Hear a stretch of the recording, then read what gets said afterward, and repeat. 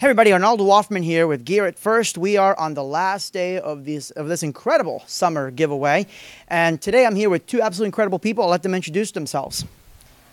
Hey everyone, I'm Justin Perry from Pangolin Laser Systems. I'm Aaron McDonald, Technical Support Manager from Pangolin Laser Systems.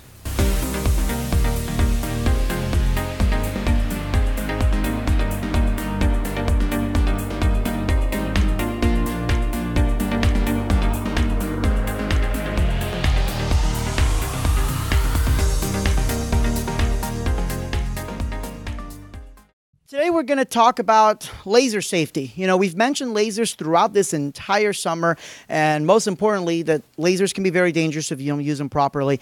Pangolin, I mean, we hear this name everywhere. Anytime we hear lasers, we hear you guys. So tell us a little bit about what you do for the industry. So, Pangolin Laser Systems, uh, we've been in business for 30 years, and we really developed a lot of the laser light show technology that allows you to design and create laser light shows. Everything from your software and hardware to a lot of your laser safety systems, and now we also offer a line of laser projectors as well. Awesome. So, I guess we're going to start from the very beginning then, as far as you know, laser safety and all that. You know, becoming a laserist. I remember years ago, it was a scary thing. To this day, it still sounds kind of scary because you hear all these terms like variances and you know the possibility of you know hurting somebody with lasers and just overall, there doesn't seem to be a very clear cut way. So I'm hoping this video will kind of give everybody the one path of becoming a true laserist. So first, let's talk about how do you become a laserist. Sure. So one of the the first steps in becoming a laserist that's um, you know everybody's kind of searching for their first laser projector, mm-hmm. um, and when you're going to find uh, your laser projector, you want to first and foremost make sure that that projector is certified and compliant with CDRH and FDA regulations. So it begs the question, how do I do that? Yeah. Um, a very simple way is to go to regulations.gov. If the manufacturer you are considering purchasing from has certified and compliant equipment, you should be able to pull up their manufacturer's variance at regulations.gov. Um, this website was set up in conjunction with the FDA to allow you to browse and search uh, FDA related compliance material. So uh, it covers not only laser light show equipment, but also some of the industrial and medical laser related equipment in the field. Um, so that's a that's a real surefire way to see if the projector you're trying to purchase is in fact certified and compliant with the CDRH and FDA re- regulations. So with that being said, I mean, let's say I, I pull up, you know, I go on there and I pull up a manufacturer's variance. How do I tell if it's current? Is there anything that I need to be on the lookout for? Yeah, absolutely. It's another great question. Um, so each year, as a projector manufacturer, you're required to file some additional paperwork keeping your manufacturer's variance up to date. Um, for example, if you come out with a new line of lasers, that new line needs to be additionally certified under your manufacturer's variance.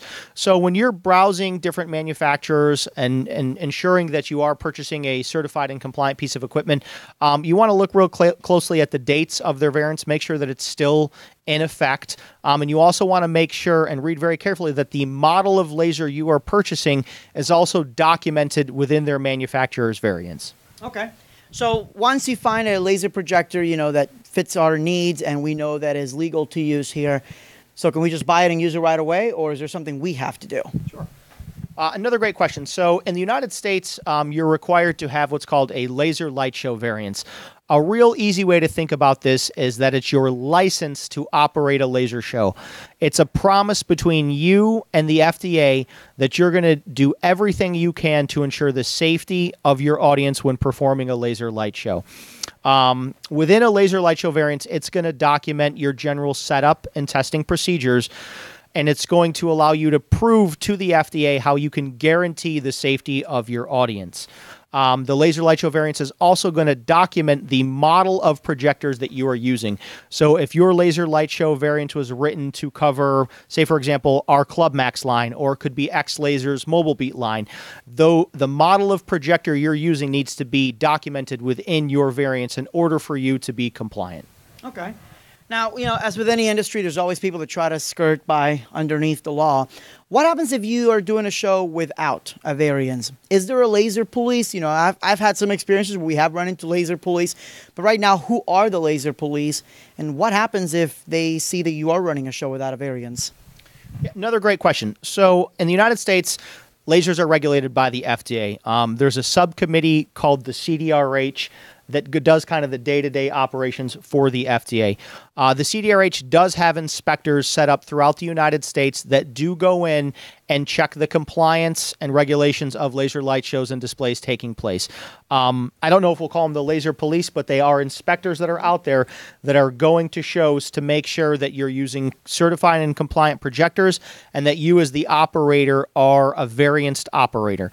Um, we've also, in our discussions with the FDA, heard that they're partnering with local fire marshals and local police agencies to help train them on how to inspect a local nightclub or a local show to ensure compliance as well.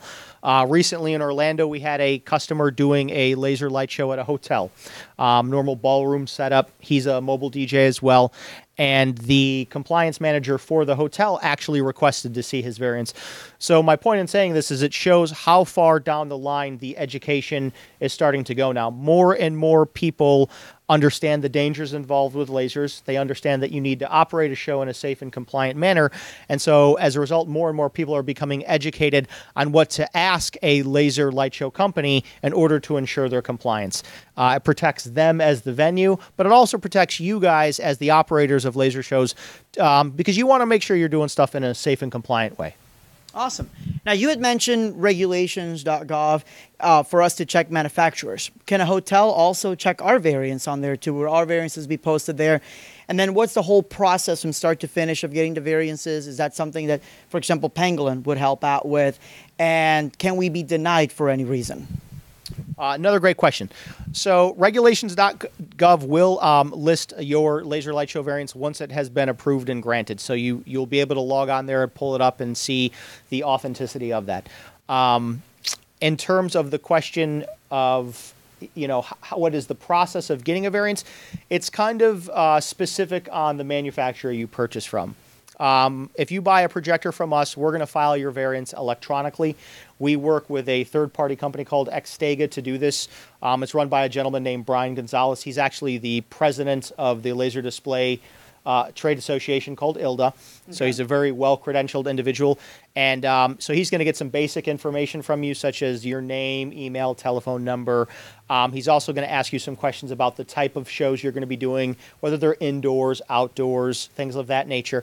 And he's also going to ask you what model of laser projector you're using from us. So if you're using our Club Max line our Atom line, which is a little high, more high power, or Spectrum line. Um, he's going to document the specific models of lasers that you're using within your variance when he files it. Um, some other manufacturers also do more of a manual style where um, your paperwork is manually submitted to the CDRH and FDA. That's a, a totally acceptable and approved method as well.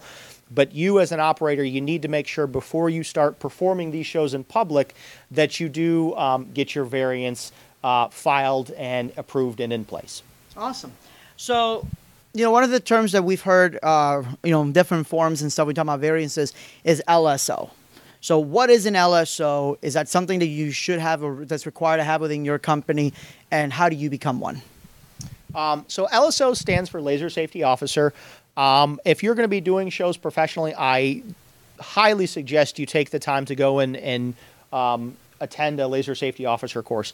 Um, these are offered through the trade association for um, the laser show industry called ILDA. Mm-hmm. They have an LSO training, but you can also find them through other uh, laser safety um, organizations such as the Laser Institute of America.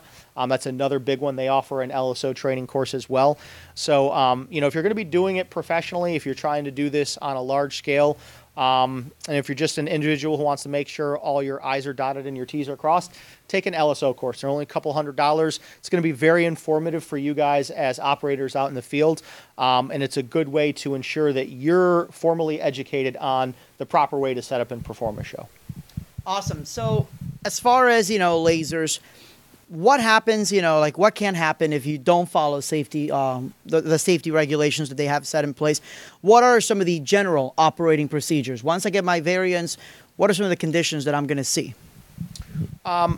So, a variance can be written in a lot of different ways. So, let me start off by saying that. Um, depending on the manner in which your variance was filed, it can stipulate and authorize to do uh, authorize you to do various setups and different types of, of displays.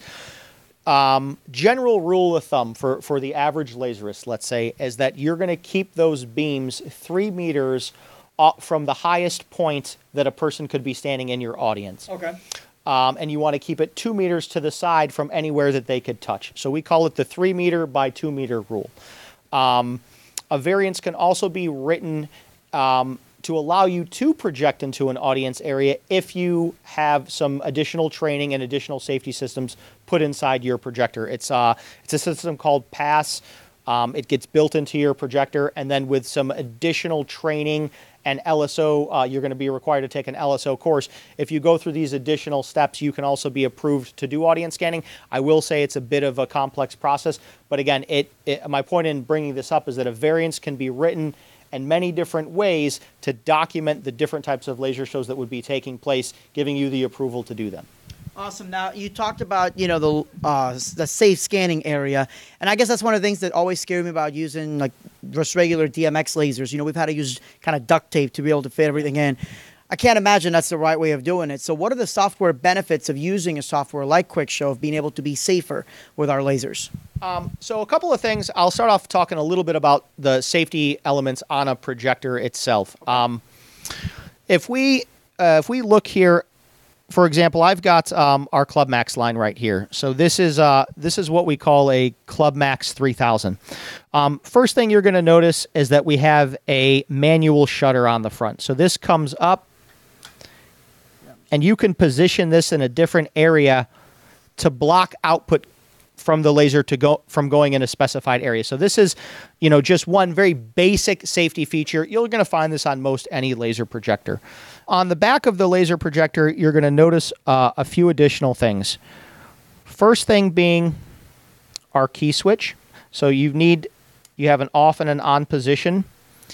Um, this is an interlock, and this plugs in right here. But this slot is actually used for your e-stop. So, and we'll demonstrate what an e-stop is here in a minute, but it's basically um, a mushroom switch that, when triggered, will disable all laser output going to the projector. And this is actually required when doing a public laser light show. So your e-stop signal is going to connect here. Um, in addition, on the back of the projector, you're going to notice we have what's called a scan sa- um, scan fail safety. So when this is enabled, if the projector detects you performing an effect that it feels is unsafe, it's going to trigger the mechanical shutter inside of the laser projector to block any output from coming out. Okay. In addition to that, in the software, uh, our software called QuickShow, we've got some added safety features that are built into the um, into the program. So we've got um, an electronic e-stop in QuickShow that we call a blackout button. Um, and in addition, within QuickShow, we have a feature called zones.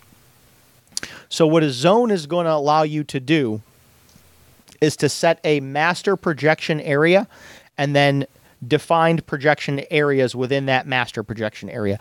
So, say for example, this is my master projection area. Let's use this basic square shape right here. Within that master projection area, and Aaron's got the test pattern set up now, I can set specific zones within this area that I want laser output to display into.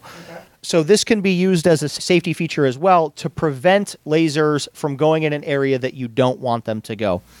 Um, and to actually demonstrate the e-stop, if you ever notice anything potentially dangerous taking place, your e-stop, you hit it, you'll notice we automatically killed laser output from taking place. Um, you know, this is this is your first and foremost uh, safety feature that you wanna you wanna trigger if you notice anything dangerous taking place. Just hit that hit that mushroom switch, and it's gonna stop all laser output from taking place. How do you start it back up? You're going to just lift this back up, and then you'll notice we got a button called Start. You'll click that, and then in the software, you're going to enable your laser output, and you'll be good to go again. Awesome. We can also talk a little bit about the emission delay. Okay. So, what an emission delay is is um, before the laser will actually output, it will wait for about 10 seconds before physical laser output takes place. Um, this is another safety feature. So if somebody tries to walk in front of the laser while you're setting up, let's say you're setting up a zone, and um, somebody just you know a technician's walking by and might walk in front of the output window of the laser you have a 10 second window to say hey get out of the way you know i'm going to have laser output coming here so we call it an emission delay it's delaying the actual output from the laser projector from taking place Okay, awesome. Um, so as far as overall safety tips, you know, maybe some do's and don'ts. Is there anything that you you know you readily recommend to the beginner? You know, like what are some of the things definitely do's and don'ts and things that they may have thought not thought about when it comes to laser safety? Um, so the first thing I'll say is don't buy lasers on eBay. Um, 99% of the lasers you're going to find on eBay are non-compliant and un- not certified, um, and there are ramifi- ramifications in place if you get caught using non-certified uh, equipment. Um, at the very least, if you get caught, your gear is going to get confiscated, and any variance that you may have had, it's probably going to get terminated. Um, there can also be uh, penalties, such as financial penalties, in place if you get caught using non compliant equipment. Um, and there can be possible criminal penalties as well. We've seen a few instances where people were doing some pretty aggressive um, illegal audience scanning with non certified projectors, and there were some, um, some ramifications for those people as well. So, step one use certified safe equipment. Um, step two, make sure you get a variance. Make sure you file the appropriate paperwork with the manufacturer that you purchase from. And actually, they're required to file that for you. So, um, you know, if you purchase a laser projector and the manufacturer doesn't discuss the steps to take to get your variance, that's an immediate red flag like, hey, is this guy even a legitimate uh, seller of laser light show equipment? Um, after that, when you're setting up and performing your laser light shows, you're going to want to do it in a manner that um, where you can guarantee the safety of people in your audience. So one thing is set that manual shutter that we were showing earlier. Set it in a position to where you can guarantee you're not going to be projecting into an audience area. It's a it's a block, right? So you can block laser output manually from going into a specified area. Um, when you're starting your basic setup procedures, make sure your e-stop is properly connected. Test it out. Make sure it's working properly. Um, when you're setting up your zones, clear people out of the area and make sure you set up your zones in a way that are also not going into an audience area and to make sure you're adhering with that three meter by two meter rule. Um, so these are just some basic safety tips to to follow when you're set up and performing a laser light show.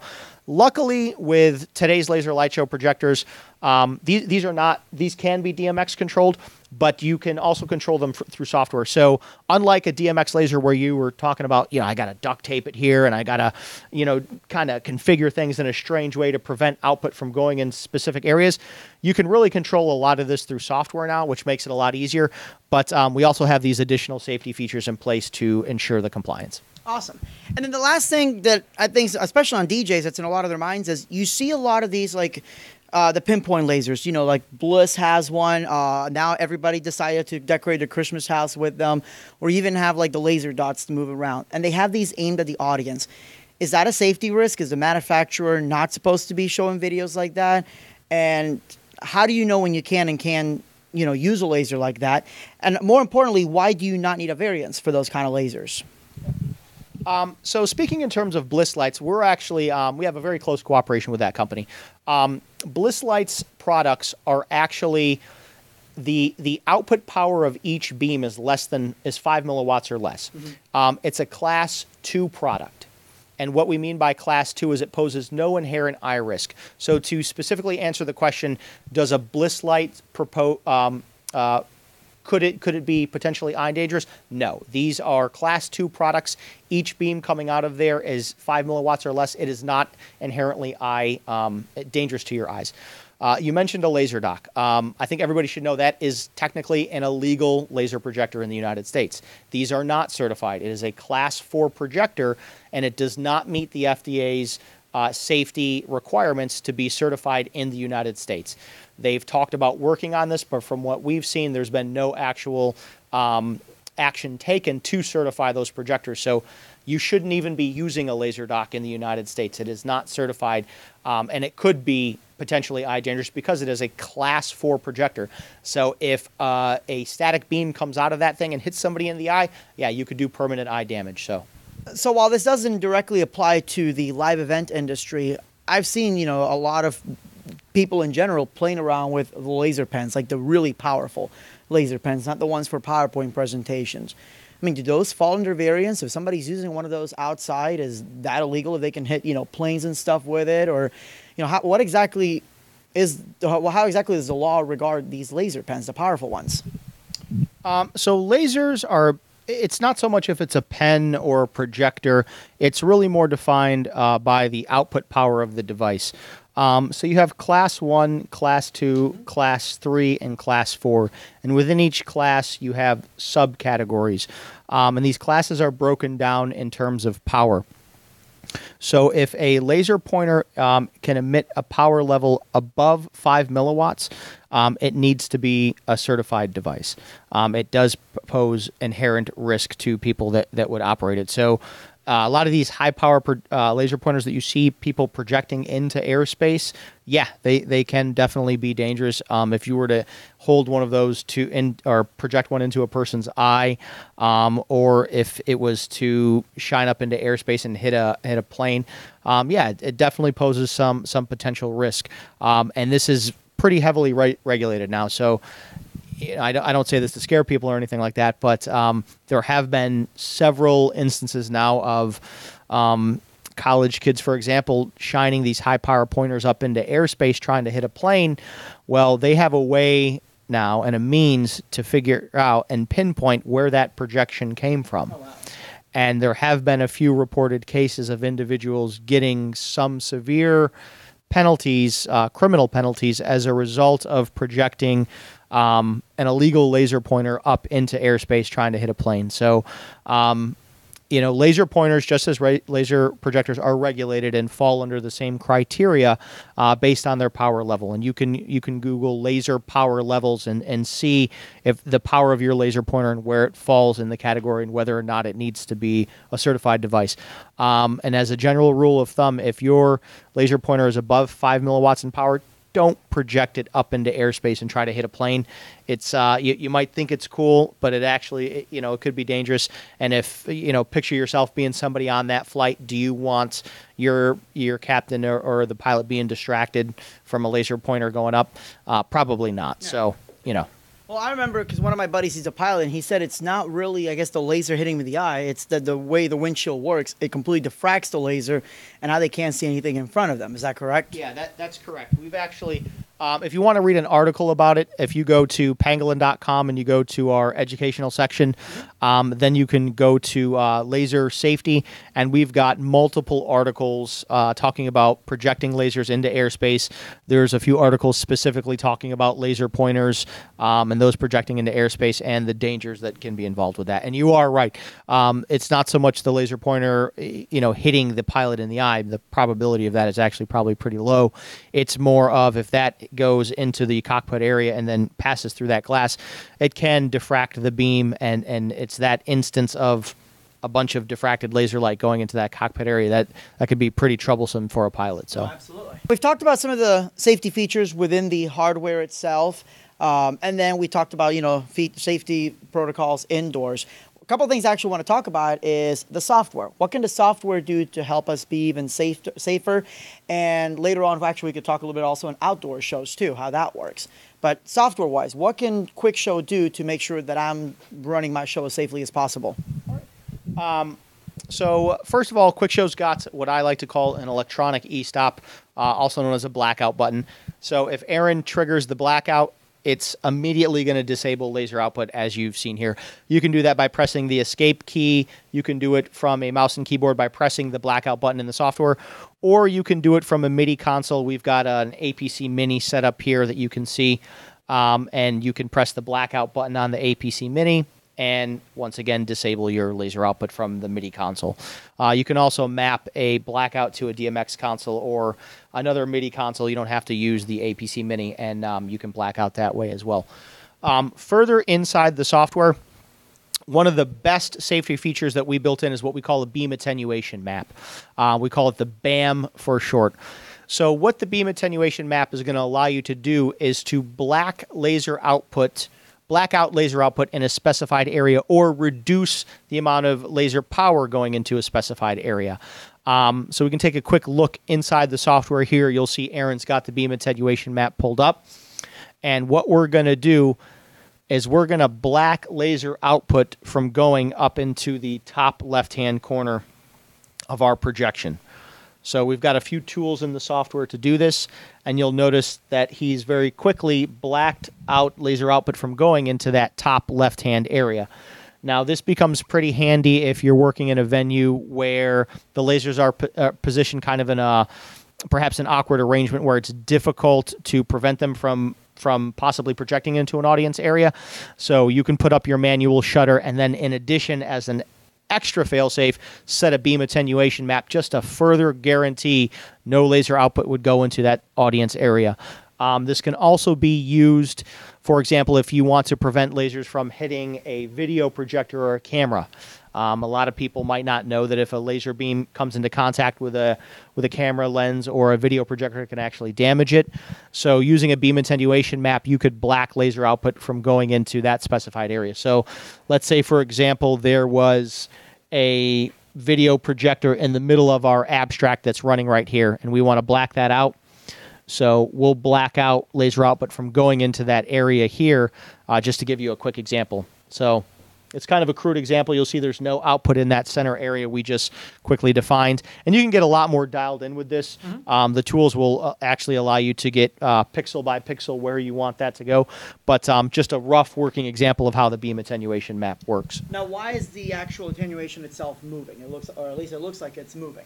It's the abstract. Yeah, it's following it's following the animation of the abstract. Oh, okay. So What's the difference between using attenuation and actually using the um, the resize tool that's in there? Is there one that should be used before the other? So the the resize tool is geometric correction. Um, I like to explain it like this. Um, let's let's black out for a minute here, Aaron. All right, let's put up our um, our classic orientation test pattern, or what we call the top test pattern. All right, um, so right here we've got our master projection area. I can make this bigger, smaller. We could max this out a, uh, a a lot further than what we have set up here, but um, this is our master projection area. And then within our master projection area, we can set up multiple zones. So we'll kind of give you a quick example of this. Okay. So we've got our master projection area. There's zone one, and I could make zone one a little bit smaller within our master projection area if I want to, using those geometric settings you were talking about earlier. So now we've made a smaller zone one, and we could position that maybe up in the top right hand corner as Aaron's doing right now. And then we'll come in and we'll make an additional zone. Let's call it zone eight. And we'll change the size of that, and maybe we'll put that in the top left hand corner. So now I've got two individual zones set up within my master projection area. And I can apply a beam at- an individual beam attenuation map to each of those zones. So in zone 8 if I want to block out the center of that um, of that specific zone to ensure no laser output goes there, we can we can black out the laser output there as Aaron is demonstrating right here. And now you'll see that there's an area blacked out within that zone where there is no specified laser output. And I definitely want to just kind of show so the audience knows that this is all being shown and done with one projector. They're not using multiple laser projectors. If somebody wanted to use, let's say, for example, multiple projectors, how does that work? I mean, do you have a controller for each one, or can they be daisy chained? This is um, it's a great question we get a lot, and uh, it's called independent versus shared control. Um, so, as a working example, we've got two laser projectors right here. We'll call it laser one, and we'll call this guy laser two. Uh, if I have two laser projectors set up and I only have one piece of control hardware going into laser one, these two lasers are going to do the same thing at the same time. It's um, it's shared control, also called a daisy chain. So basic working setup is you've got your FB3 ILDA cable running into projector one. You'll daisy chain that signal over to projector two with another ILDA cable. Both lasers will do the same thing at the same time. Uh, if you want independent control, where the lasers do something different at the same time, you need an individual piece of control hardware for each projector. And we've actually got a great tutorial video about this online. I think we could probably link to that, that will walk you through step by step how to set up a laser show with both shared control and individual control. Awesome. So then let's talk about, you know, QuickShow. Like if, you know, let's say a DJ that's watching this right now, they want to get into lasers or even uh, LD that's never done lasers before. And there's quite a few of us out there. You know, you guys obviously have tons of different softwares out there. You know, we've heard most common, QuickShow, Beyond. There's even like the LD 2000 and all that. So, what's the main differences between QuickShow and Beyond, and what should they get started with first, and what are some of those features? So if you're new to lasers, I, I generally recommend starting with QuickShow. Um, it's a very powerful software. It's um, you've got live control operation in there. You've got a timeline, so you can program um, timeline-based laser shows. You have got a drawing program and an editing program, a text generator if you want to do text, a logo generator if you want to do custom logos. Um, and it's going to help build a foundation for you on designing and creating your own laser light shows. Um, we say QuickShow is powerful, affordable, and easy to use, and it really kind of lives up to that reputation. Um, it offers you a ton of tools, but in a very user friendly format, so that if you are new to lasers, the learning curve is, is not as difficult. Um, if you're a professional lighting designer, or if you're a little bit more advanced in the laser industry, maybe you've already used QuickShow or um, you've been working with lasers for a while, Beyond is probably going to be more appropriate from you. Uh, Beyond essentially takes all of the features within QuickShow and expands upon them, and we've added a lot of additional features on top of that. Um, if you like to run your laser show from a lighting console and you want to be able to individually script out what your your faders, your knobs, and your buttons and sliders do, Beyond's going to be for you.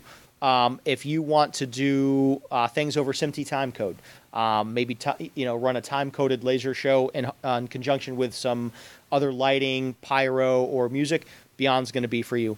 Um, Beyond also has some more interactive features. So uh, it's a pretty cool thing. You can actually control the lasers from an Xbox Kinect. So you move your hand, we can move the lasers back and forth with the uh, with the motion of your body. So it's another neat feature.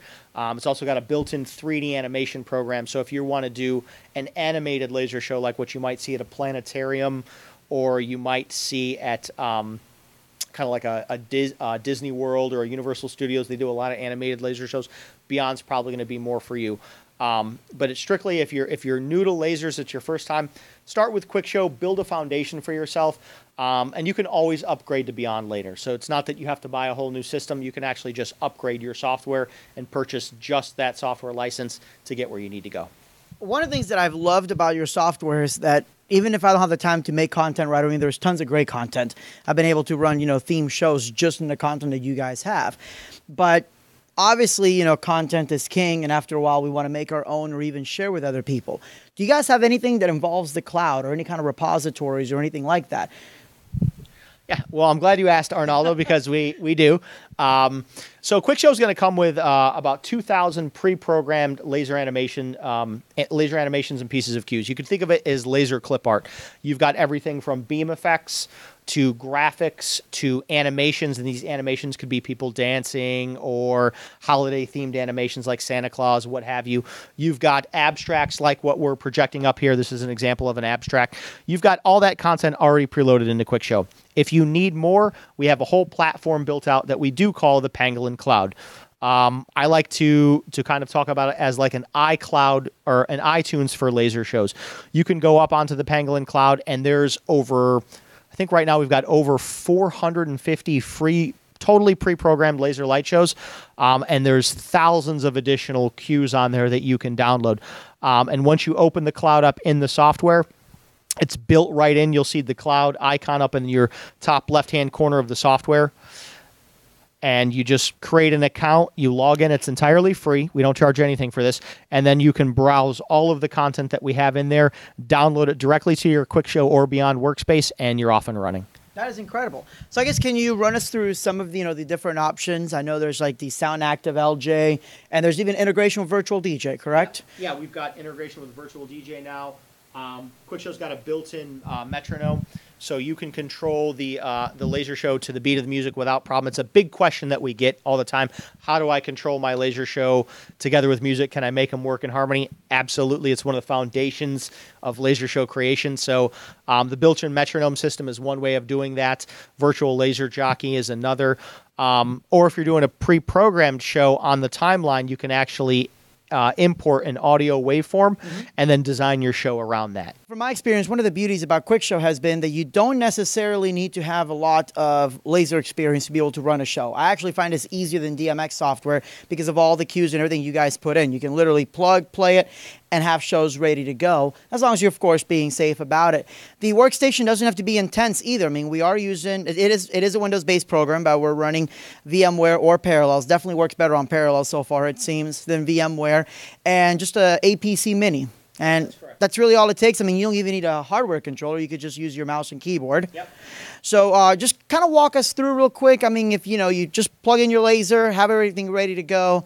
All right, guys, I'm going to give you a quick rundown of the QuickShow software, um, touch on some of the main elements that are beneficial for DJs. So, first and foremost, this is our cue grid. Uh, it's broken down into graphics and atmospheric effects. And within each category, we've got some sub tabs with things like logos, um, animals, people and characters, music and dancers, celebrations. Um, and your atmospherics, you've got a lot of liquid sky effects, some beam effects, hot beams, and things like that. Um, and so it's very simple. All you need to do is come and click on a cue, and it will immediately project in laser light. So as you go through here, you can select the different content that you want, and boom, it'll automatically project out in laser light. Uh, one of the other cool things that we um, have that a lot of DJs request is, you know, I want to create a logo or a, uh, a custom um, animation for a, cus- a customer. How do I do that? So we have a tab called Quick Trace down here. We can open uh, a logo. Let's let's pull up the SeaWorld one, and immediately it's automatically traced in laser light. You can also animate these logos as well. If you drag and drop it to a cue, right click on it and edit the frame, it'll bring up a drawing program that allows you to further edit and animate that logo. And we've got some additional tutorials that talk about that as well. Um, another very popular feature is the quick text tab. So a lot of customers want to display text on the fly, maybe like happy birthday, things like that. So if we just come into our text editor and type in um, anything we want, let's type in text real quick. We can automatically project this in laser light immediately just by clicking uh, show output. So it makes it very easy to do text on the fly. Another popular thing is our timeline. So if you ever want to uh, pre-program a show, to, perhaps to a fav- favorite uh, musical track or audio file, you can do this on the timeline, and you very simply just drag and drop your programmed effects onto the timeline. And I'm just doing a crude example here, guys. And you can define the the amount of time that they're projecting for. You can fade in and fade out. Uh, you can also open up a um, an audio file so that you set your waveform on the timeline, and you can program your laser effects to music. And again, we've got a full tutorial series for all of these things. Already online on our YouTube channel, there's over uh, 19 tutorials right now for the QuickShow software. Uh, they're going to dive real deep into each of these features as well. Um, we recently released QuickShow 3.0. And um, again, kind of catering to the DJ community, we built some plugins for the virtual DJ software. So, what this is going to allow you to do is to control QuickShow from virtual DJ, um, triggering your laser effects based on a, a set BPM within virtual DJ. And if you go to our QuickShow 3.0 tutorial video, you'll be able to see that as well. Um, and one of the other new things is a lot of people wanted more MIDI functionality. They perhaps didn't want to operate from a PC and preferred the tactile feel that a MIDI console offers. And so we've created a custom map for the APC Mini that's going to allow you to run your laser show from this MIDI device. And it's truly plug and play. You don't have to map anything out. You don't have to script anything script anything out. Once you connect the USB device, it is already set up and ready to go. So I can toggle through my cue grid here, triggering some different effects. Um, I've got some sliders down here for things like colors. Um, we can do some rotations. We can do some animations. We can control our brightness. So you've got all these effects built into the uh, profile that's made for the APC Mini that's already plug and play ready to go. And if I ever need to black out, I can just come up here, black out, and start fresh whenever I need to. We've covered quite a bit on laser safety for you know the operator and for the audience. But let's talk about safety as far as the units themselves. You know, is there such a thing as a one size fits all as far as getting really good liquid skies, beams, and graphics? Can you burn out a laser or the motors? Because those motors are going pretty fast. I mean, is there a shelf life on this or even a cooling period that they would need? So um, there's a lot of different laser projectors on the market today, but some key things you want to look for um, to kind of find a one size fits all laser. Um, first and foremost, look for look at the scan speed. Um, the scan speed is going to define the type of effects the projector will allow you to create. So you want to try to find a system that's rated to 30K at 8 degrees or higher. That's going to allow you to do nice aerial beam effects, liquid skies, but it's also going to be fast enough that it can do some of the more advanced text graphics and logos that you uh, you might see coming in from some of those professional displays. Um, you also want to look for analog modulation.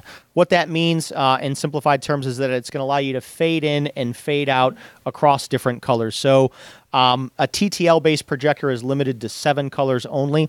An analog based projector is going to allow you to create millions of different color combinations because you can fade in and fade out between those those different colors. Um, another very important thing you want to look at is the the scan angle that is being specified and how wide those scanners can project.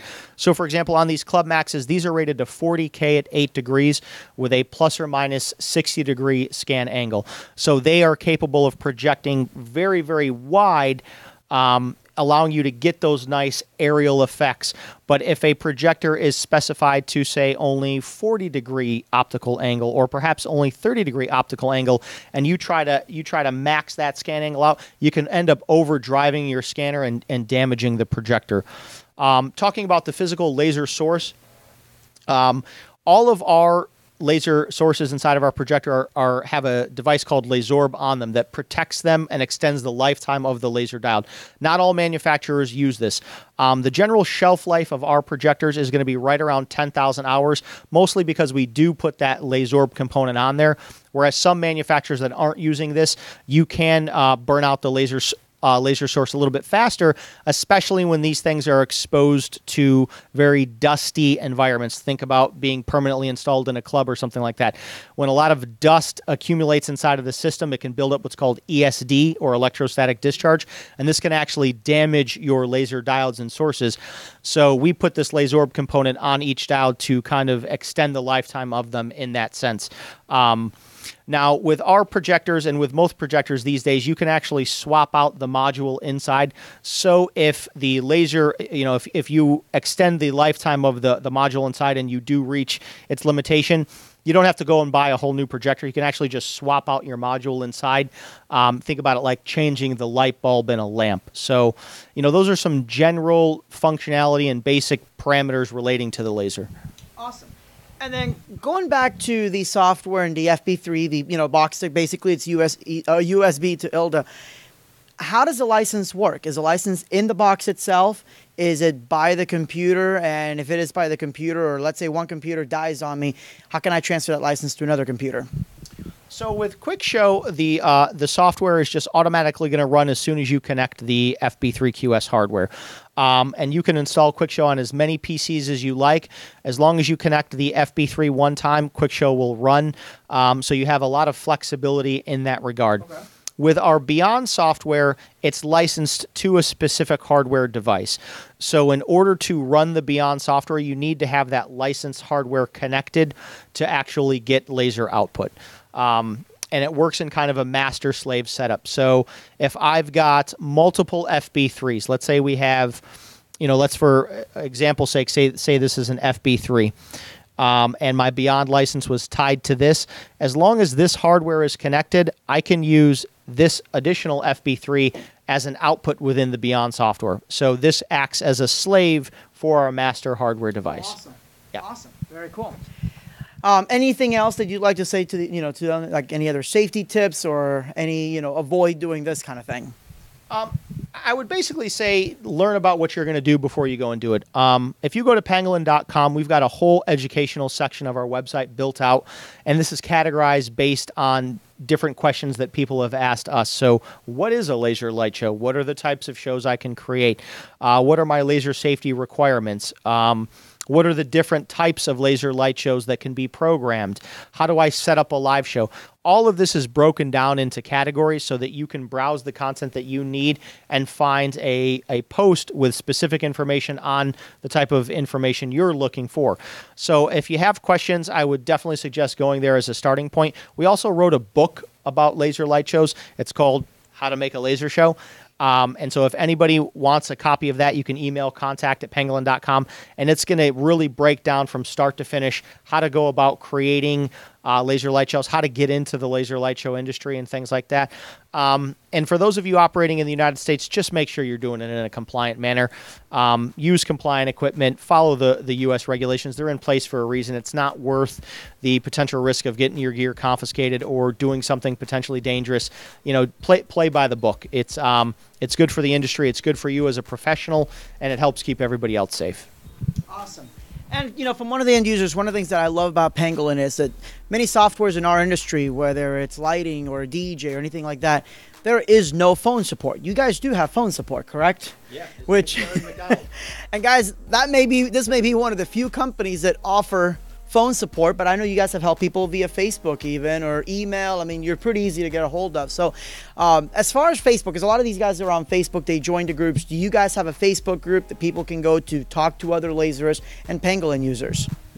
Um, yeah, I'm actually pretty proud. We've got the the world's largest laser-related uh, Facebook group. It's called Powered by Pangolin. There's thousands of laserists on there from all over the world. Um, we've got people from the United States, Germany, the Netherlands, Japan, Korea, Brazil, Colombia, um, literally from all over the world on there. They're sharing uh, practices and, and you know just different techniques on how to use the software. Um, they're programming content for each other and sharing information. So it's a great group where you can uh, connect with other laserists from around the world, ask questions, get support, and things like that.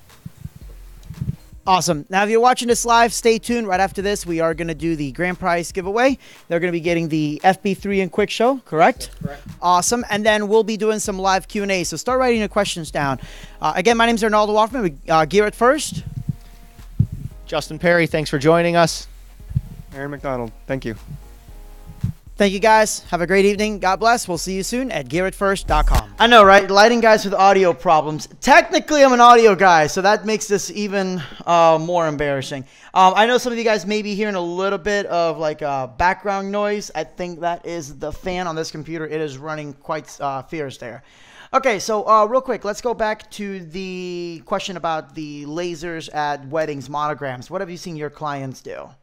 Yeah, so uh, at weddings, we have our clients doing quite a few different things. Um, laser graphics, text, and logos definitely seem to be some of the most popular effects. Um, bride and grooms love seeing their names projected up in lasers. Uh, QuickShow Software's got a ton of content in there with that's uh, celebration themed, so that tends to be very popular at weddings as well. And um, we see a lot of liquid skies projected too, or some aerial beam effects when people are dancing. So what I notice most DJs and event planners doing is kind of mixing these effects up. Maybe when people are dancing, they're doing more of the aerial effects. And then when uh, the bride and groom are walking out or, or kind of during one of the more ceremonial parts of the, the event, they're projecting people's names up and logos or mm-hmm. some of those animations and stuff like that. Awesome. I mean, that's yeah, again, that's one of the beautiful things about QuickShow. I, I can't say that enough. That it has saved my butt multiple times when they're like, oh, we're doing this theme. Can you do something? Uh, yeah, look, it's already there. So that's awesome. Um, let's see real quick. Uh, we had a couple questions actually that kind of came in side by side. Somebody had asked about the variance. Can you get it by the person or by the company rather? So if you have like you know a company and you have multiple people working in it, do you have to get a variance for each individual person? Uh, it's kind of uh, specific on the individual. What we see a lot of um, larger production companies doing is getting a variance for their company uh, and then listing the operators for their, their company within their variance so that their employees are covered. Um, we've also seen individuals get the variance filed mm-hmm. specifically in their name as well. So when you are filling out your variance paperwork, um, you can denote within that if you want it to be on the written under your company or written under you as an individual. Awesome. And then uh, I know we talked about this briefly, but pretty much uh, David Vallejo asked well, when you rent lasers from the dealer, if you have to get it certified yourself or does a dealer do that? And I'm guessing he means buying the laser projector. That should already be certified before they sell it to you, correct? So, yeah, well, obviously, if uh, a projector is going to get rented out, it needs to be certified and compliant first and foremost. Um, you, as the operator, you do need to have a variance, even if you're using some rented equipment. So, if a company is going to rent you out laser equipment, you, as the operator, have to have a variance on file, or you need to be working for a company that has an approved variance on file as a 1099. Awesome. Um, Let's see here. Peter, the hubcap dude, asks uh, Does the variance allow for outdoor and indoor shows? Uh, it, really depends on, again, how your variance is written. Variances can be written in a few different ways. So, when you're filing your variance paperwork with a manufacturer, if you do plan on doing outdoor shows, you can request that your variance be written to cover you for outdoor shows. Um, and then there's a few additional safety precautions that need to be taken into account.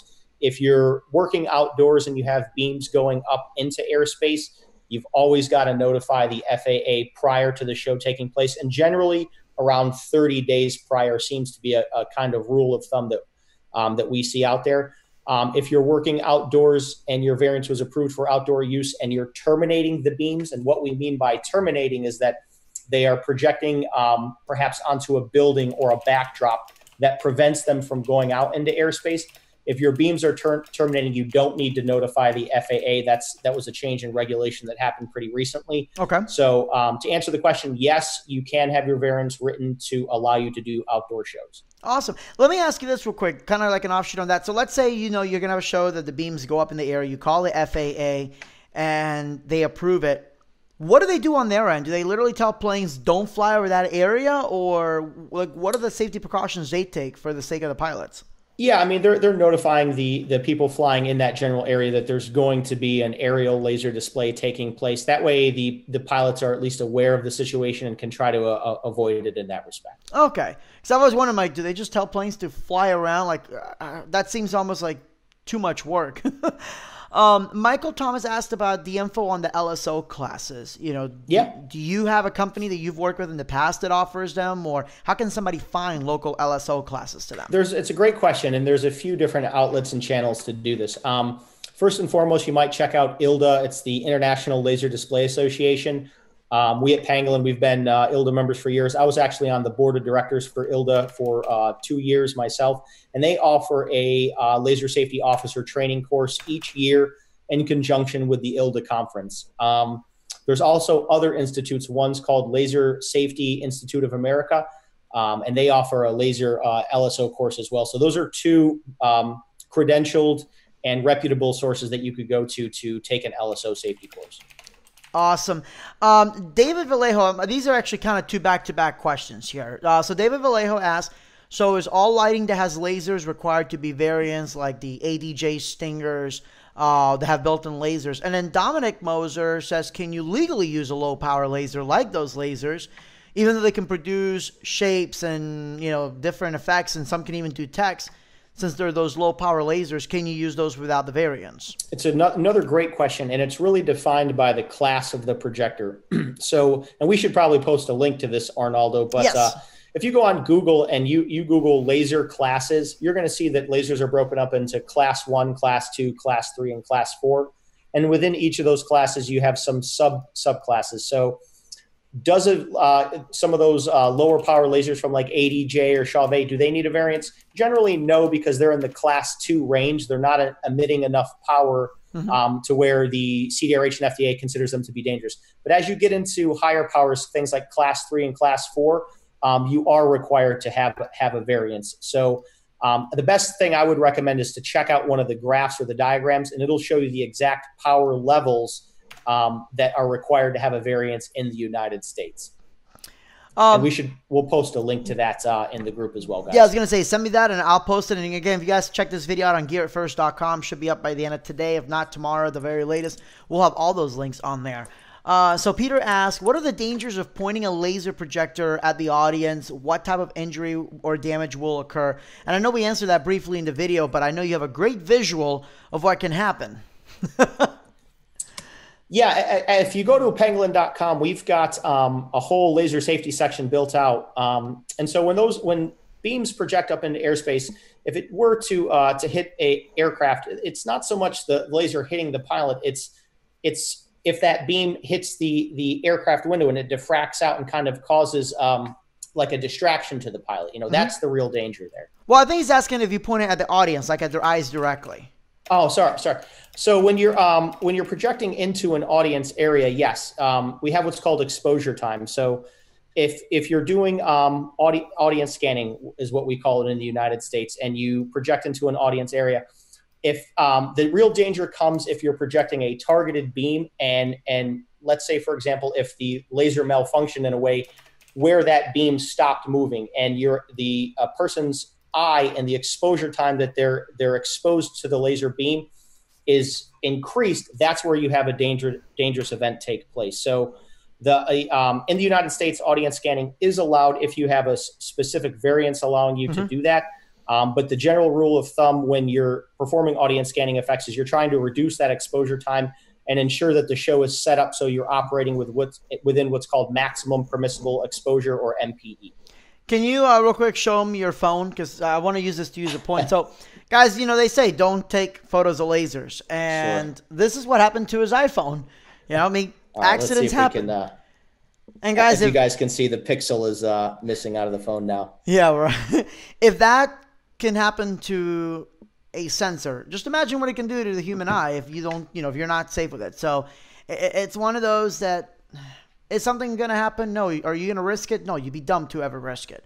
Uh, you know, I I've been hit before with lasers from being stupid, uh, and yeah, it hurts for a bit. I don't think, like you said, there has been like any major, thank God, catastrophes, but I think it just takes the one person to do something really bad. It's not a matter of if, it's a matter on when, you know? Yeah, exactly. That's so, exactly right. I mean, you always, when you're working with uh, high power projectors, you always want to just do your best to make sure you're operating in a safe and compliant manner. Um, mm-hmm. You know, especially as a professional DJ or production company, it's your reputation on the lines, um, as well as the safety of the people in the audience. So you, you just want to do things by the book and make sure you're following the proper safety precautions. Absolutely. And those of you guys watching the live stream, if you have seen the live stream on insurance, remember that your insurance company will cover you maybe the one time if you're lucky, and after that, you're going to get blackballed if you do something as dumb as not following the steps in your variance. I know my insurance company went through a whole spiel with me about that.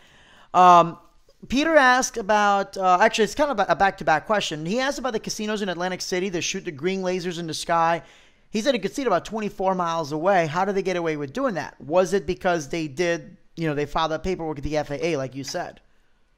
Yeah. Um, so I think I know the venue that he's talking about and and the individual who did that show. And yes, they um, if they were operating in a compliant manner, which I'm sure they were being a casino, um, they surely must have filed with the FAA prior to the event taking place. So you mentioned about it being an active airspace. Uh, DJ Kaz wants to know on outdoor shows, how do you know if you're in active airspace? He's in Nebraska where there's lots of open space. General rule of thumb, guys, if you're going to be projecting beams up into airspace, even if you're in kind of a remote area, contact uh, the FAA prior to the show taking place and, and notify them. It's going to protect you. And uh, even if you're in that remote area, you don't know there could be um, air- aircraft flying overway so it's just better to be safe than sorry. Um, contacting the FAA is not very difficult. There's some basic forms that you'll fill out, um, and you just want to put it on their radar so that they can notify any aircraft in the area. Absolutely. Um, this is actually a really good question, uh, and this is from David Vallejo. Can la- lasers damage other electronic equipment uh, that it may hit while doing a live show? Um, and he says, you know, are there any areas that you recommend to shoot a laser and I guess where not to shoot? I, I want to save that part for part two of the question. But let's talk about other gear. Can laser damage other gear other than cameras? Yeah, absolutely. So um, you want to be very careful with things like video projectors. Um, we've, you know, some people who are new to lasers might not realize if if one of those beams crosses um, one of these nicer video projectors that you see in a lot of clubs or hotels or conference room settings, it can damage that equipment. So Um, as we were showing in the in the stream earlier, we've got some tools in QuickShow. Uh, one of them called the beam attenuation map. That's going to allow you to define a blackout area. Um, another safe thing is just make sure your video related equipment is covered up. Um, and then as you start to get into higher power laser equipment, um, you've also got a risk um, if a beam goes static to where it's just a targeted beam projecting out and that's not moving. You also can have a potential fire risk as you get into some higher power equipment. So wow. you want to be be careful of that as well. So it, it can pose danger to um, other equipment if you're not operating it properly or taking the, the right safety precautions. And I guess that also includes asking the venue about any security cameras so you're not burning up their security yes, cameras. Yeah, always always a good thing to check when you're, you know, if you're going to like a hotel conference room center or, um, you know, a corporate event or something like that, you definitely want to check with the local AV guy just to make sure, hey, is there a video projector in here that I'm not seeing? Is there any AV equipment in here that I might not be aware of? Um, just so you can make sure that you're not going to damage it in some way. We were, it's kind of funny you mentioned this. Um, several years ago in uh, 2008, we were at an industry conference and, um, you know, we must have had like 30 lasers set up and nobody saw the video projector that was just, you know, way in the back of the room. And an individual went up there to, um, to kind of demonstrate some of his equipment and uh, he ended up breaking that video projector. Oh. And uh, it was unbeknownst to him. He, um, he got a bill for ten thousand dollars from the oh. hotel. So oh. yeah, you you definitely want to um, dot your i's and cross your t's in that sense, and just make sure that if um, you, you know you're asking the question, is there anything in this in this venue that I need to be aware of that uh, could, could, potentially get damaged. With a high powered unit, do we have to worry about it hitting, like, for example, the little mercury part in the sprinklers? You know, that keeps the one that once pops, it sends water everywhere. Uh, I know that's been asked before, so I was kind of curious. I figured we tied into that. Do we have to worry so, about fire alarms as far as aiming lasers directly at, it, or even worse, if it's one of those beam alarm systems? It's it's an interesting question. Um, I've not heard of any instances like that happening. I mean, that would be a pretty rare event, so I don't think it's something you necessarily need to worry about. Um, but what is something you should keep in mind is, um, let's say, if there's a chandelier or if there is refractive material in the venue that you're working. Mm-hmm um, and, and I like to use the example of a chandelier because everybody knows how when you project light at a chandelier can create that disco ball effect. So with a laser, if you have um, like a chandelier or a glass fixture or something like that in your projection area and your beam passes it and light can reflect off, you need to be aware of that and possibly use a tool like a beam attenuation map to block that area out to prevent uh, a piece of refracted laser light from going into an audience area. Awesome. And that kind of answers Peter's question about uh, if there's a danger of the beam continuing in a new direction if you are doing an outdoor show and it hits a window or a mirror type. So I guess same thing, guys. You got to do your due diligence and really research what you're going to project on for sure. That's exactly right. Um, so let's see here. David Evans asked, could you go into a little bit on the how the scan speed of Flexi or Flicker, especially as the scan angle increases overall? Yeah, it's a great, great question. And uh, we actually build optical scanning systems at Pangolin. It's um, right now we hold around 31 international patents for laser and optical scanning related technology. So it's it's something we're very well versed in. Um, so laser in the uh, laser show industry, we define scan speeds in terms of kpps, and we use um, specifications are supposed to be noted at eight degrees optical. Eight degrees is the standard that was set by our trade association ILDA. Mm-hmm. So as you, for example, if, if we look at like, um, I'll use a Club Max laser as an example. We our scan speed is rated to 40k at eight degrees.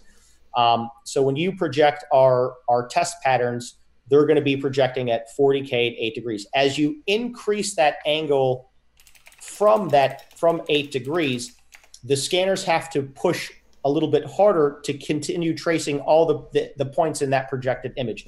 So that's why you might notice as you increase the scan angle of something like a graphic, you tend to notice more flicker. It's because those optical scanners, which are really motors, think about it like a motor, they're having to drive a little bit harder to trace all those projected points.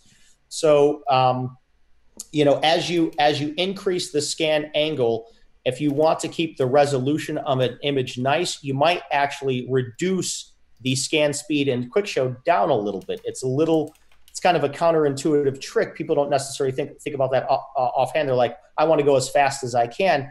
But um, think about like the RPM in your car. Um, sometimes when you're going around a turn, you want to slow down a little bit so that you have better traction. Well, when you're projecting graphical or very point heavy content from a laser projector across a wide angle, you might want to slow that scan speed down just a little bit so that you reduce some of the flicker and you're not driving the motor so hard. So, um, and this this is stuff that really um, you want to play with because it can be content and cue specific.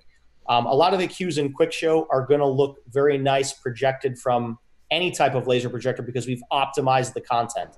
When it was designed, it was programmed in such a way that it, it would look good even if you possibly don't have such fast scanners inside of your projector. But as you start to get into more custom stuff, perhaps a custom logo, some custom text, where you're not optimizing it to the extent that we did, try playing with that scan speed slider in QuickShow to see if you can – as you increase that scan angle, if you can get the um, the image to project a little bit more stable, um, and that should help. So uh, let's go into the part two of this question. Then he says, if he asks, can we elaborate a little bit more on overdriving the scanners? Because obviously, if you go take that scan speed, you know, as high as possible, we're, we're probably going to overdrive them. Um, how do you find the balance between the scan angle and the effect that you are creating? And are there any signs that we're overdriving the scanners? Um, so inside, it's a good question. And inside QuickShow, there's um, a scan speed test pattern. Um, we call it our 30K test uh, test pattern. And what you'll notice, if you project that test pattern, you're going to see um, in the center of it, there's a square box with a circle inside. Mm-hmm. And as as you increase the scan speed or you increase your angle, that circle will either look distorted it might it might go outside of the box or the circle might break and that's an indication that you might be overdriving your scanners faster than they were actually made to go um, unfortunately there are scan speeds are something that that some manufacturers don't they're not let's say correctly defining the specification so people might think that they have for example a 40k scanner but it was specified at four degrees. So they think they can drive it to 40k with no with no issue. But remember, it was specced at four degrees. Mm-hmm. So if you go outside of that, you could potentially overdrive your scanner. So you, you need to um, the best test to do is if you have QuickShow and you've got a laser projector, project our our scanner um, uh, test pattern and measure an eight degree angle coming out of the projector, and then project that test pattern and see where you stand and set your scanner slider to 30K. That's what the test pattern was made for. And you can kind of begin to measure what your scanners are actually capable of doing. And there's another article on our website at, at pangolin.com in the educational section that talks all about how to actually measure the the real speed of your scanner. So I would encourage people to read that as well. It'll get a little bit more into the science and the math behind calculating those scan speeds. Awesome. And then David also asked, is there any regular maintenance that should be performed on lasers? It's another great question, and uh, it's kind of projector specific. Mm-hmm. Um, you know, I, I would I, I, would say ask the the manufacturer of your projector um, what they recommend for general maintenance. Um, speaking in terms of some of the lasers that we offer, um, these are these are all built into IP54 rated housings. Um, our modules are completely sealed. Um, the optics are completely protected. We actually go as far to integrate a component called Lasorb onto each diode inside the system to help further protect, protect them and extend the lifetime. So our systems are really made to be maintenance free. Um, but it really depends on the the projector that you purchased and that, that you're using. Um, some basic maintenance every once in a while. You're going to want to clean your optics if you're using the uh, the projectors um, in a dusty or very hazy environment and you know get some first contact solution and, and, and clean those optics off um, you might want to blow out the fans and just clean those off as well to make sure that there's not too much dust accumulating inside of there um, and those are just kind of maintenance 101 yeah. things but as far as actually going inside of the projector inside of the module and things like that it you know if, if a laser is built properly you really shouldn't have to do that Absolutely. Um, here's actually one of my favorite questions because there's one a lot of people don't think about. What kind of computing power? This comes from Jason Gibson. Uh, what kind of computing power do you need to run this software? And can this be run on the same computer that may be running DMX software or Virtual DJ? Um, so it's going to depend on if you're running QuickShow or beyond. If you're using QuickShow, any basic laptop's going to do it. Does not require a lot of um, computing power to to run QuickShow, even if you're driving multiple projectors. Um, and a lot of people do use it in conjunction with other lighting or DMX based software. Um, as you upgrade from there to Beyond, Beyond does use a bit more computing computing power. Um, and so you might want to go. One of my personal favorites is these the new Asus laptops. They've um, they've got a Core i7 processor inside, 16 gigabytes of RAM, a very good uh, NVIDIA graphics card. So if you're using Beyond, I would invest into um, an, uh, a higher end computer, something with a Core i7 processor. Mm-hmm. Um, 16 gigs of RAM and a good graphics card. If you're running QuickShow, any basic laptop's going to work fine. Okay, you, you got my attention to graphics card. So Beyond is using the GPU for a lot of the mathematical calculations, or well, what's going on? So Beyond's got some visualization um, uh, features built into the software. Um, if you guys are familiar with software like Capture Polar or perhaps Realizer, um, these are software that allow you to visualize a show setup, and those are very heavy on your graphics mm-hmm. card. Um, and inside of Beyond, we we have plugins that allow you to use Realizer, Capture, or Light Converse inside of the software. So that's that's where the the good graphics card comes into play. Beyond's also got um, what we call an enhanced reality preview, um, and it's it, it's almost I don't I don't want to say it's it's realistic in terms of it looks like actual laser light, but it gives you a pretty good idea of how the laser effect will look, and that can be a little bit heavy on your graphics card as well. So um, that's why with Beyond, we recommend you do use something like a NVIDIA graphics card or something okay. like that to um, to real so you so that you're getting the full benefit of the software. Of course. Uh, let's see here. Um, da, da, da, uh, hang on, this was the same type of question. Um, okay, so loud and clear Texas ask, you know, as a DJ or somebody I guess start really getting started with lasers, how do you know what to charge? And I, I guess the, you know the question really is, it de- or the answer really can be, it depends. But I guess it depends, like if I don't know if he's talking about graphic shows or beam shows. I mean, what have you seen as far as the average cost for even like a one laser show? Okay, so one laser show at a club. I mean, we I, I see anywhere from two hundred to three hundred dollars per night as kind of a typical fee that gets charged. Um, eh, the the amount that you charge really be, is defined by a few things. Um, one, the number of projectors that you're bringing to the event. Mm-hmm. Um, and as you begin to, to bring out multiple projectors, you tend to charge per projector that you're bringing instead of just per event. Um, if you're doing a pre-programmed show where you're actually building it out on the timeline, people tend to charge based on the amount of programming time that went into to making that show, um, and that tends to be. I, I see rates right around two hundred dollars to three hundred dollars per second of content. It can it gets pretty expensive for ah. pre-pro. Yeah, it gets pr- pretty expensive for pre-programmed content because there's a lot that goes into that. Um, if you're doing a live show, though, it's generally around. Um, it's going to be defined by how powerful the projector is, how many projectors you're bringing out. So if you're using, for example, a two watt unit, you're probably going to be able to charge between 150 to 300 dollars per projector per night. And by per night, are you talking about like a typical four or five hour set, or? Yeah, yeah. Your, okay. your, your typical your typical weekend club show, you know, running probably you might go on around 10, 11 and run till two, three at three at night, depending on where you're located. And I would imagine it'd be more market specific. So in areas where you don't have many laser uh, operators, absolutely you're gonna be able true. to charge more in that area. So absolutely true. I mean, if you're if you're in a city where there's not a lot of um, other people doing laser shows, you can certainly upcharge a little bit more. Um, also, if you're doing private events or corporate events, the budgets on some of those events tend to be more profitable for for DJs and people like that mm-hmm. as compared to the club show. Um, you know, I, I, definitely encourage mobile DJs to to venture out into the corporate world or into the event planning world or into the um, the wedding and bar mitzvah world because the the budgets seem to be a little bit bigger there from what I've heard from many of our clients. Absolutely. Um, DJ Kaz asked, does QuickShow integrate with Light Jockey? Um, QuickShow will integrate with Virtual DJ, but it's not integrated together with Light Jockey right now. No. So pretty much for DMX integration, it would definitely be a Beyond thing. Yes. Yeah. I mean, QuickShow's got some basic DMX functionality. There's a tutorial online. Um, it, if you Google uh, QuickShow Quick DMX, it's going to show you some of that functionality that QuickShow has. Mm-hmm. But if you're looking for more advanced DMX control, um, I would definitely suggest going to Beyond. Awesome. Uh, let's see here. Just a couple more questions, and then we can do the giveaway. Um, actually, this is one of my favorite ones. Michael Thomas asked, "Would a laser pass through an outdoor tent?" And I'll expand by even asking, you know, pipe and drape. I've done pipe and drape. We do lasers, you know, as a, a graphics, and some of it actually passed through. And I'm like, oh crap, I got to do it higher because it was actually hitting the audience at that point. So how does the you know how does the FDA treat that if it's going through a you know pipe and drape and the beam's breaking up?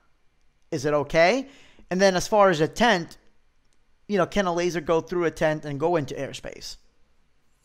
So it's going to be again the power of your laser is going to be a big factor in is it going to pass through a tent or not. Um, same rule rules are going to apply though. If the if laser light is is going through a tent area into an audience area, that's not going to be compliant unless you had an audience scanning variance. Okay. If it's going up into airspace and you didn't file FAA for FAA approval, um, you would again kind of be breaching on on the border of being non-compliant. So, you know, if there's if there's a chance that that might happen, um, I would there's a there's some easy fixes you can do to to solve that. One, create a beam attenuation map. Two, reduce the output power of the projector. Or three, set your zones inside of the software. Again, those are those tools that are going to allow you to define specifically where where laser content is going. Set your zones to in such a way that to avoid that sort of stuff from taking place. Okay.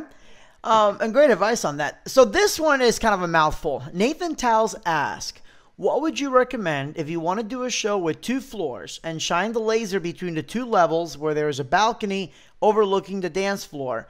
It doesn't meet the three meters over the head rule. I know that was a mouthful, right? I'm, I'm, I'm like, wait, let me visualize that real quick. Yeah, let, let, read that off one more time there. Arnaldo. Okay. What would you recommend if you want to do a show with two floors and shine Okay. the laser between the two levels? So I'm guessing maybe the, the lighting system's here. There's two levels there. Uh, maybe they have a little ba- oh, okay. You know what? It might be like Cuba Libre over in Orlando. So you've got the two floors. There's a balcony in between, and I guess he wants to shine it uh, in between the floors, but he's saying that it doesn't meet the three meters over the head. Man, that second level or must be for like midgets or something. Uh, excuse me, short Americans. Uh, Are there so are there people people actively dancing or or you know in that in that second le- that mid level area there, or is it just open space? You know what, Nathan? Do me a favor. If you can kind of expand on your question a little bit, uh, and we'll go to the next one, and then we'll go back to yours. So, no, no, and no worries, no reason to need to apologize. I mean, it's a good question, but just kind of explain a little bit more of what you're trying to do, and then we'll be able to answer to The that. best thing I would suggest too is if he's got a picture of the venue uh, that he can email to contact at pangolin.com, we'd gladly take a look at it. Awesome. Um, and, and, you know, kind of work with them to see where an appropriate place to mount the projector would be. Cause it, it is a good question. You, you know, he, obviously he's trying to do things the right way and I commend him for that, but it, it would certainly help to see the actual venue. So I could, we could give some, some better advice. Yeah, Nathan says that people are standing on both floors. But yeah, if you send him the photo, and that would definitely be a lot easier because Yeah. We'll be happy to help you, Nathan. I, I'd just like to see what the venue looks like a little bit more. yeah, we don't want to give you the wrong advice, especially when you're talking about lasers. So email him and he'll get you taken care of. Um, and then Dave Evans asked, uh, he's been to a few shows where the beams appear very thick. Is that due to the beam diameter or of the projector itself, or is it the Q? Um, so there's a couple things. It could be it could be on the way that the cue was programmed. Um, you certainly can add what's called a hot point into a, a beam effect Mhm. to give an appearance of a of a bit of a thicker beam, or it could have been on the way that the projector was built. If a projector doesn't have very good what we call divergence, which is in in very general terms, think about the width of the beam, how fat that beam is. Um, it, that beam might appear wider. Um, one general rule of thumb is you really don't want to have fat beams. And the reason why is over a long distance, the beam is going to be a lot dimmer and a lot less bright. Um, most professionals, when they're looking at laser projectors, are going to look at one that has the lowest divergence possible because the tighter the beam pr- profile, the more visibly bright it's going to appear over a long distance. So, um, you know, he might have he might have been looking at a cue that was programmed in a certain way to give that fat beam effect Mhm. Or he might have just been looking at a projector that wasn't you know didn't have a very good beam divergence assigned to it and so it, it looked like it had a fat beam but uh, you definitely i mean if you're if you're looking at projectors beam divergence is a very important um, uh, specification to consider. You really want to get something that has as low of uh, beam divergence as possible. Around 3.5 millimeter is kind of an industry standard in that that respect. Um, so you know, it's definitely something to be mindful of. Awesome. Uh, real quick, we are getting all the names, and everybody's punching in their names right now. So if you guys are in the chat, please don't type anything but just your name one time, one time only. Once you guys punched in your name, please do me a favor. Open up a new tab. Go show Pangolin some love on YouTube. Subscribe to their channel. Uh, you can find Pangolin. They just started, uh, they have an Instagram account here. So make sure you guys find it. It's under Pangolin Laser Systems. So go show them some love on Pangolin Laser Systems on Instagram as well as Facebook. And I know on the website you, uh, I mean, you've got some serious tutorials going on on the website. Uh, we really try to do a lot on the tutorial front, um, Arnaldo. We uh, for Quick Show, we've got over 19 tutorial videos. For Beyond, we've got I think over 70 tutorials now. Um, we've got a ton of tutorials that are discussing um, basic laser educational things, how to set up multiple projectors, how to set up zones. Um, so on our YouTube channel, you're going to find a ton of educational content, guys. Um, and uh, we also published a, a, free ebook that you can download. I think Arnaldo shared the link earlier.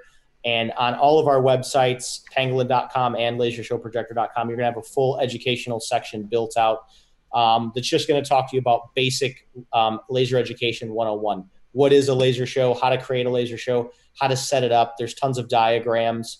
Um, so all that is is uh, freely accessible to the public, and um, you, you, know you guys are welcome to check that out. Awesome. So now let's real quick. The, the names are still pouring in. Uh, let's talk about the the price. So the winner. Tell, tell you know. I guess I'll, I'll, let you talk about it. Tell them a little bit what the FB3 is and how it ties into QuickShow as far as their licensing. Absolutely. So uh, we're going to be giving away a new QuickShow 3.0 system. This is the latest version of the software. Um, so you're going to get the classic QuickShow software as well as the new virtual DJ plugin, the new map for the APC Mini. Um, you're going to get the, we've got a couple other features in there that relate to BPM control. Um, so you're going to get all, all those new features for free.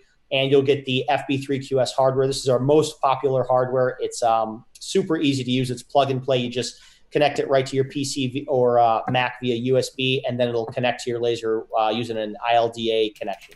So you get get both of those items included with the package. Um, and uh, looks like Arnaldo said, "Here we go." So let's. Uh, are we ready for the drawing? I am. I think that's all the names. So let's go ahead and. Haha.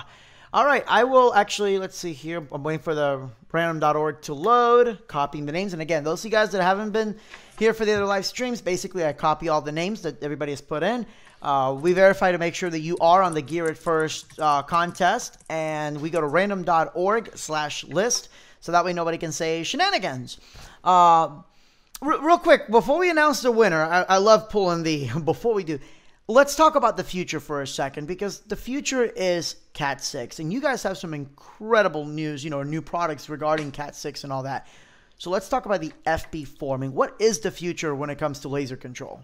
Yeah, we're, we're very excited about this. Um, we've we recently launched a new hardware platform called FB4, Um, and I like to, to think about it as a media server for a laser show. So this is designed to get built directly inside of your laser projector. So there is no external control, and directly from your laptop, you can run a network cable straight to the back of the projector, and you're entirely set up and done. There's no hardware in between. Um, if any of you guys have worked with ILDA cable, you probably know how difficult it is mm-hmm. to run over long distances. It's a big, clunky cable you know it's um, it's certainly a lot easier to run cat 5 cable it's a more industry standard especially in the lighting industry everybody's running cat 5 so fb4 supports that but it also is going to support dmx artnet and standalone mode so if you want to run things from a lighting console um, fb4 is going to make that exponentially easier or if you want to run things from a dmx console and trigger pre-programmed effects um, you can design your laser cues effects your shows. You can design it, design it in QuickShow Beyond, save it to FB4, and then trigger that from a DMX console um, where there's no computer in the setup. So for guys that love the tactile feel of DMX consoles, they're used to that way of running shows. It's a it's a great benefit. And then most recently, um, we just finished some of the programming on this. Um, FB4 is going to allow for um, automatic playback, and this is something um, very unique to our hardware. Um, you're going to be able to create a show, a cue, and animation, and then download that to the FB4. Wow. And then you'll be able to assign a time parameter. So you can say, I want this content that I programmed to play back every Friday for the next six weeks at 9 p.m. to 11 p.m. And you'll be able to define those parameters on the content that you put on the FB4. And then your laser projector with FB4 inside will run that co- content automatically. All it will need is power. So we just finished the bulk of the development on this. It should be um, released pretty soon. So that's something uh, pretty cool to note. And we've got um, a full line of laser projectors now, all with FB4 built inside. So if anybody is interested in that, you can see these uh, as well. Um, we're also working with our friends over at X Laser. They've got some new projectors coming out that have FB4 inside. Mm-hmm. Those are looking pretty awesome too. So um, you know, definitely, definitely make sure to check those those out, guys, because that is where the technology is is evolving to. And I know we we actually talked about the uh, FB4 in the last show. Um, you know, and somebody said, well, the FB4 costs a lot more, and it does, but you know, it's a lot cheaper than having to replace several ILDA cables because people well, wreck them. what I would say on that, Arnaldo, is I just shared a link so mm-hmm. you guys can see if you look at the average price of a, let's say, a three watt projector on the market plus an FB3 QS and Quick Show, um, it's actually not much more expensive to buy the projector already with FB4 integrated. Um, you know, generally a three watts going to cost somewhere in the neighborhood of three thousand dollars. That seems to be a, a typical industry standard price. Um, and then if you add Quick Show on that, which sells for five thirty five uh, end user price, um, you, you, know you're right around thirty five hundred bucks. But a Club Max three thousand with FB4 already built inside and the Quick Show 3.0 software, it's thirty four hundred dollars. So it's you know fb4 if you buy it by itself and build it into a projector yourself yes it, it is a little bit more costly but if you're buying it already with the projector as a package it's not that much it's it's actually cheaper well, it's but, actually cheaper. And even if you're buying it separately, I mean, it's I guess it's still cheaper than having to buy the ILDA cables because I can pick up 100 feet of Cat 6 for $15. Yeah, I mean, Cat 6, Cat 5, Cat 6 cables definitely cheaper than ILDA cable we we provide free ILDA cables with all of our projectors, so mm-hmm. and we don't we we're, we do not charge for those accessories. But if ever you did lose an ILDA cable or something like that, can go to Walmart. Certainly, certainly cheaper to buy a um, you know some replacement Cat five, Cat six cable than it is an ILDA cable. That's for sure. Oh yeah, definitely. And you can go to Walmart and that. Do you guys have any ILDA cable? So yeah, do you guys have some ILDA cable in stock? Yeah. Um, and actually, a lot of questions have popped up about the Club Max that we use in the video. And, you know, you and I had just finished the video doing kind of like a tour on that. So, guys, check that out on Gear It First. Uh, we're going to show that plus the disco scan that, you know, that's a really cool lens. Um, yeah. So, guys, you definitely want to watch that video. I promise it'll just blow your mind. So let's go ahead and announce the winner, and it's kind of awesome. I mean, I'm glad that any you know anybody wins. So thank you all first of all for being part, joining in the contest, and thank you, uh, Justin, for you know being part of the contest as well. Um, this gentleman said that he's gonna have a hard time explaining to his wife why he's gonna spend a couple thousand dollars on a laser. You're definitely gonna have to explain it now because you just won the software, Jason Gibson. Uh, so congratulations, Jason. Uh, now you just need to buy yourself a good laser. Uh, Justin can help you out with that part, I'm sure. um, so Jason, do me a favor. You you already know how to reach me on Facebook. Uh, give me your email. I will send you an email, get you connected with Justin, and uh, we'll kind of go from there. But yeah, abs- really, really stoked with some of the new features that you have on there. And then um, think that. And we, I also know. I mean, you know, I, I want to say thank you to all the DJs that um, joined us for the uh, for the live stream here as well. And guys, you know, we we really want to cater to you. Um, we've got a lot of love for the DJ community. Um, and you guys have a lot of great ideas. So if there are features or things like that that you'd like to see from Pangolin, um, be it on the software side, the hardware side, or the projector side, shoot, shoot your ideas over. We're, we're definitely receptive to uh, to your feedback in that respect. Um, we, we've seen some amazing work coming from individuals in the DJ community. So, you know, we invite you guys to, to share your thoughts as well. So you can reach out to us at contact at pangolin.com mm-hmm. um, or use our contact forms uh, we, or send us a message on Facebook. We'd love to get your feedback. And uh, guys, real quick, if you are going to DJ Expo, uh, like, you know, our friends at X Laser, they will be there. They actually have the new Quick Show, so you guys can check that out in person. There isn't a demo of Quick Show available on the website yet, is there? I know that would. Be. Oh, on... absolutely, there is. We've got. Okay, cool. um, we can post a link to both. There's a demo version of both Quick Show and Beyond um, available online, so you guys can try it out for free for yourself. Play with it. Um, I'll post these links here uh, right now. Yeah, post the links on the chat. I will post them on the description below so that way you guys can check it out. I- I'll tell you this because you guys, you know, I've used almost every DMX software and console in the market. Laser's so much easier than lighting in every way, shape, and form. Once you get past understanding safety and how it all works together, it's literally plug and play. Quick Show makes it ridiculously easy. Uh, Beyond does have some real cool features. If you guys saw it in the pre-roll, you can use you can basically map a video projector with your laser and make that video projector part of your laser show. Um, you have also the Kinect uh, capability as well, correct, Justin? Yeah, absolutely. So, um, and thanks for pointing that out, Arnaldo. So, there's um, a lot of people want to do audience scanning in the United States, but you know, the process of getting audience scanning certified is it, can be a little bit challenging and a little bit Mm-hmm. uh, expensive. So, we developed this really cool feature in Beyond called Emulaser. And what that's going to allow you guys to do is to control a video projector as if it were a laser. And with video, there is no regulation in place to say you can't project into an audience area.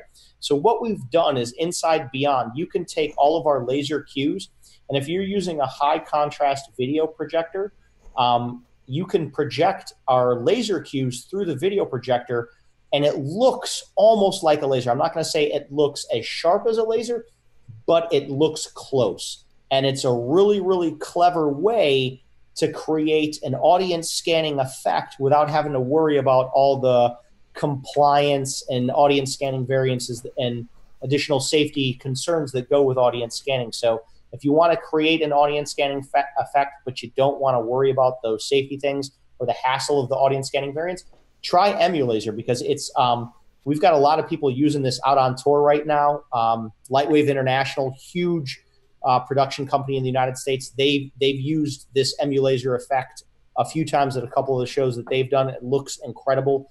Um, so it's a very easy way to create that audience scanning effect. And then with the Xbox Kinect, that is um, I'll post a video here so the guys can see.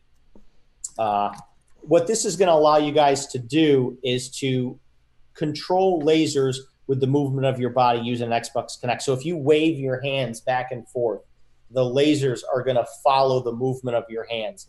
Um, you can actually zoom in and out by going like this, and the laser will zoom in and out That with the movement so of your hand.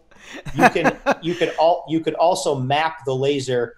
It gets even crazier. You can map the laser to your body parts. So you can you can um, when the Xbox Kinect detects your hand, your head, your leg, your foot, your other hand, you can actually um, you can actually map these things out. So you can move the lasers in real time with the uh, with different parts of your body. So it's it's a pretty cool um, interactive tool that we've got in the software.